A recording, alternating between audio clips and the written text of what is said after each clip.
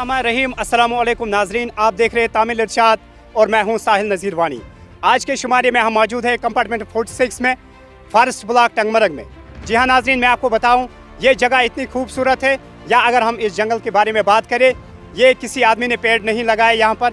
जब हमने यहाँ के सीनियर सिटीजन से बात की तो उनका यही कहना है कि ये जो फॉरेस्ट यहाँ पे बना है, it's all because of natural process. इसके साथ साथ जब हम इनकी इम्पोर्टेंस बयान करते हैं तो इनकी इम्पोर्टेंस इतनी ज़्यादा है कि कहने में काफ़ी ज़्यादा टाइम लगेगा। मख्तसर में हम ये कह सकते हैं कि the air we breathe the wood we use वो भी इन्हीं फॉरेस्ट से आता है। या अगर हम वाइल्ड लाइफ की बात करें तो वाइल्ड एनिमल्स यहाँ पे रहते हैं। अच्छी तरह उनका यहाँ इकोलॉजिकल बैलेंस मेंटेन रहता है। इसके साथ साथ हम आपको कुछ विजुअल्स दिखाएँगे। तो किसी न किसी वजह से इस फॉरेस्ट की जो इकोलॉजिकल इम्बेलेंस हो गई है पोल्यूशन से गार्बेज से।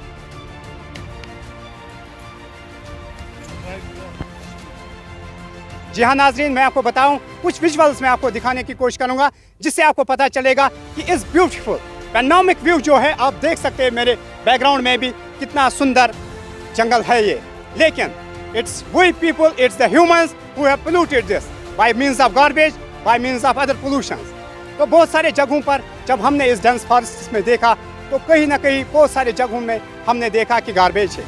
इसके लिए गवर्नमेंट ऑफ़ इंडिया ने, या अगर हम बात करें government of Jammu and Kashmir ने एक कंसर्न डिपार्टमेंट रखा है फॉरेस्ट डिपार्टमेंट उनको चाहिए कि बीच बीच में जंगल की रखवाली देखे और जंगल में देखे पोल्यूशन क्या है। इसके साथ साथ यहाँ के लोगों ने ये भी कहा है कि हम वो लोग रिक्वेस्ट करते हैं अलग हुकूमत से डिस्ट्रिक्ट एडमिनिस्ट्रेशन से, कि फॉरेस्ट डिपार्टमेंट्स को चाहिए कि वो इसकी तरफ़ से कड़ी से कड़ी तवज्जो दी जाए और इस जंगलात को साफ़ सुथरा रखा जाए। यही नहीं, बल्कि जब हम किताबों में भी पढ़ते हैं, या बच्चे भी किताबों में पढ़ते हैं या यूनिवर्सिटी लेवल पे भी हम पढ़ते हैं save forest save life but it's not limited up to this level ये सिर्फ़ पढ़ने के लेवल तक महदूद नहीं है।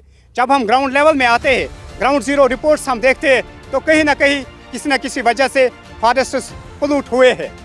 हमने कई जगह पर देखा है। हम आपको वो विजुअल्स भी दिखाएँगे, जहाँ पे यहाँ के लोकल्स आते हैं, अपने बेड बकरियाँ लेकर आते हैं और इन जंगलों में वो बेड बकरियाँ अपना गुजारा करते हैं।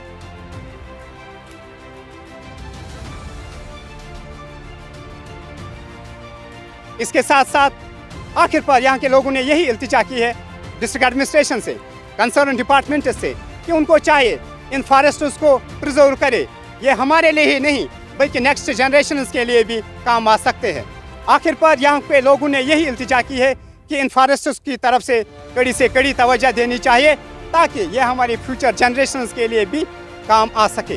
नाजरीन, आप हमारे साथ जुड़े रहे, देखते रहे तामिल इरशाद मल्टीमीडिया Thank you.